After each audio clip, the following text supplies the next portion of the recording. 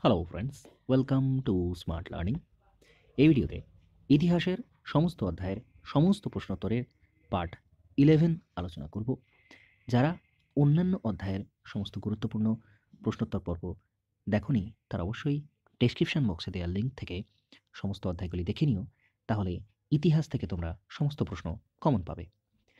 চলো শুরু করা যাক। অধ্যায় এগারো। ভারতে ঔপনিবেশিক ঔপনিবেশিক অর্থনীতি ও তার ফলাফল।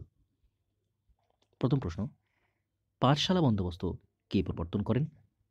উত্তর, ওয়ারেন হেস্টিংস, পাঠশালা বন্দোবস্ত প্রবর্তন করেন।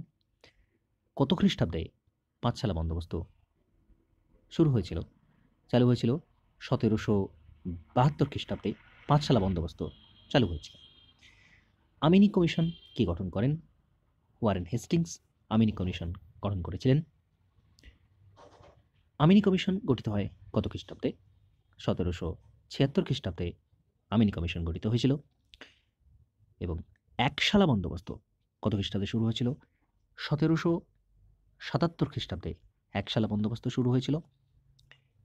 একশালা বন্দোবস্ত কে প্রবর্তন করেন? ওয়ারেন হেস্টিংস একশালা বন্দোবস্ত প্রবর্তন করেন। চিরস্থায়ী বন্দোবস্তকে প্রবর্তন করেন। লর্ড কর্নওয়ালিস চিরস্থায়ী বন্দোবস্ত প্রবর্তন করেন। কত খ্রিস্টাব্দে চিরস্থায়ী বন্দোবস্ত প্রবর্তিত হয় অথবা বাংলার চিরস্থায়ী ব্যবস্থা কবে প্রবর্তিত হয়? সতেরোশো তিরানব্বই খ্রিস্টাব্দের বাইশে মার্চ চিরস্থায়ী বন্দোবস্ত প্রবর্তিত হয়। সূর্যাস্ত আইন কে প্রবর্তন করেন? লর্ড কর্নওয়ালিস সূর্যাস্ত আইন প্রবর্তন করেন। রায় রায়তোয়ারি ব্যবস্থা বন্দোবস্ত ভারতের কোন অঞ্চলে চালু ছিল? ভারতের দক্ষিণ অংশে এবং দক্ষিণ পশ্চিম অঞ্চলে রাওতওয়ারি ব্যবস- বন্দোবস্ত চালু ছিল। রাওতওয়ারি বন্দোবস্ত কবে চালু হয়েছিল? আঠারোশো কুড়ি খ্রিস্টাব্দে রাওতওয়ারি বন্দোবস্ত চালু হয়েছিল। মহলওয়ারি বন্দোবস্ত ভারতের কোন অঞ্চলে প্রচলিত ছিল। বিশেষত উত্তরপ্রদেশ, মধ্যপ্রদেশ ও দিল্লিতে মহলওয়ারি বন্দোবস্ত চালু ছিল। ভাইয়াচারি বন্দোবস্ত কোথায় চালু ছিল? ভাইয়াচারি বন্দোবস্ত চালু ছিল পাঞ্জাবে। কত খ্রিস্টাব্দে কোম্পানির একচেটিয়া বাণিজ্যের অবসান ঘটে? আঠারোশো তেরো খ্রিস্টাব্দে কোম্পানির একচেটিয়া বাণিজ্যের অবসান ঘটে। রাওতওয়ারি ব্যবস্থা কে প্রবর্তন করেছিলেন রাওতওয়ারি ব্যবস্থা প্রবর্তন করেছিলেন আলেকজান্ডার রেড এবং টমাস মনরো। দশশালা বন্দোবস্ত কে প্রবর্তন করেন? লর্ড কর্নওয়ালিস দশশালা বন্দোবস্ত প্রবর্তন করেন। ভারতের প্রধান কুটির শিল্পটির নাম লেখো। ভারতের প্রধান কুটির শিল্প, বস্ত্রশিল্প। ভারতে বিখ্যাত বস্ত্রশিল্পের নাম কি? ভারতের বিখ্যাত বস্ত্রশিল্প ছিল মসলিন। মসলিন কি? মসলিন হলো সূক্ষ্ম এবং মিহি সুতি বস্ত্রের নাম। পরে প্রশ্ন ফারুকশিয়ার বিনা শুল্কে বাণিজ্য করার ফরমান কবে জারি করেছিলেন সতেরোশো সতেরো খ্রিস্টাব্দে ফারুকশিয়ার বিনা শুল্কে বাণিজ্য করার ফরমান জারি করেছিলেন ঐতিহাসিক রমেশচন্দ্র দত্তের বই, একটি বইয়ের নাম ইকোনমিক হিস্ট্রি অফ ইন্ডিয়া মহল ওয়ারি বন্দোবস্ত কে প্রচলন করেছিলেন? হোল্ট ম্যাকেনজি মহল ওয়ারি বন্দোবস্ত প্রচলন করেছিলেন। কোন গভর্নর জেনারেলের শাসনকালে মারাঠা শক্তির চরম অবক্ষয় হয়? লর্ড হেস্টিংস অর্থাৎ লর্ড ময়রা তার আমলে মারাঠা শক্তির চরম অবক্ষয় হয়েছিল। রেগুলেটিং অ্যাক্ট কবে পাশ হয়? সতেরোশো তিয়াত্তর খ্রিস্টাব্দে।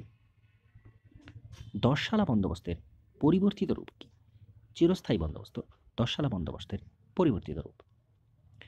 পিটের ইন্ডিয়া অ্যাক্ট কবে পাশ হয়েছিল? সতেরোশো চুরাশি খ্রিস্টাব্দে পিটের ইন্ডিয়া অ্যাক্ট পাশ হয়েছে।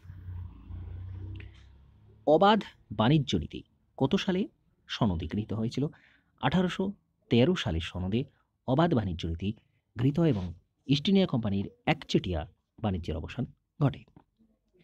ভারতে কে প্রথম সম্পদের নির্গমন তত্ত্ব প্রচার করেন? দাদাভাই নৌরাজি সর্বপ্রথম সম্পদের নির্গমন তত্ত্ব বা ড্রেন থিওরি প্রচার করেছিলেন। দাদাভাই নৌরাজি লেখা গ্রন্থের নাম কোনটি? Poverty and unBritish rule in India কত বছর অন্তর সনদ নবীকরণ করা হতো। কুড়ি বছর অন্তর সনদ নবীকরণ করা হতো। রায়তবাড়ি বন্দোবস্ত কাদের সঙ্গে হয়েছিল? কৃষকদের সঙ্গে, ইংরেজ সরকারের। মহলবাড়ি বন্দোবস্ত কাদের সাথে হয়েছিল? দেশীয় গ্রামগুলির সঙ্গে ইংরেজ সরকারের। এখানে কিছু তফাৎ রয়েছে, কৃষক এবং এখানে দেশীয় গ্রাম। বোর্ড অফ রেভিনিউ কে গঠন করেন। Warren Hastings, board of revenue গঠন করেন। ওয়েলথ অফ নেশনকে রচনা করেছিলেন ব্রিটিশ অর্থনীতিবিদ Adam Smith, wealth of nation রচনা করেছিলেন। কোম্পানির আমলে ভারতে কৃষির ভিত্তি কী ছিল? ভারতে কৃষি সরি, ভারতে অর্থনীতির ভিত্তি কী ছিল? উত্তর হলো কৃষি।